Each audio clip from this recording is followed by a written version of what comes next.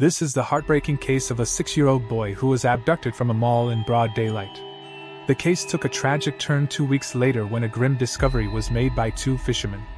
But before we delve into the details, if you're interested in true crime cases, please subscribe to our channel. Let's dive into today's case.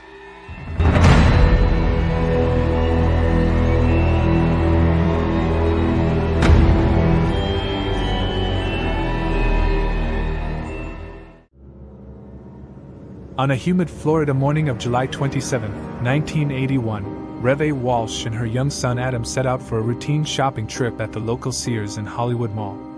The store, bustling with the midday crowd, offered the usual distractions. Reve, with a mental note to purchase a lamp, allowed Adam a moment of delight at a video game kiosk near the toy section, where he joined other children absorbed in their digital world. Assured by the innocent laughter and the seemingly safe environment, she wandered just aisles away to examine the lamp selections.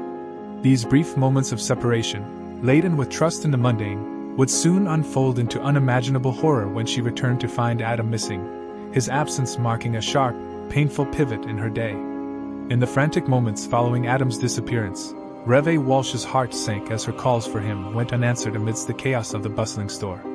With a surge of dread, she alerted the store management, prompting an immediate intercom announcement for Adam, but it yielded no sign of him. The local police were swiftly called, initiating a massive search operation that radiated outward from the Sears store.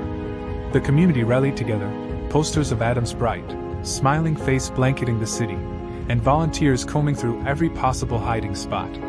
The days stretched into agonizing weeks until a devastating discovery was made. On a quiet morning, two fishermen went out to a canal in Vero Beach, looking forward to a day of fishing. The water was calm, and everything seemed normal as they chatted and cast their lines. As they moved along the canal, one of them noticed something unusual floating near the shore. When they got closer, they realized it was the head of a child. This shocking discovery abruptly changed their peaceful day into a very distressing experience. After the discovery, the fishermen immediately contacted local authorities, triggering a significant police response. The area was quickly cordoned off as a crime scene, and investigators began the grim task of gathering evidence. The head was soon identified as that of Adam Walsh, bringing a tragic confirmation to his family and the community who had been hoping for his safe return. The discovery intensified the investigation into Adam's disappearance and murder. Law enforcement officials conducted extensive searches in the area where the head was found and reviewed all available leads and tips, hoping to find more evidence or clues about the perpetrator. The case drew national attention, catalyzing discussions on child safety and the need for systemic changes in how missing children cases were handled.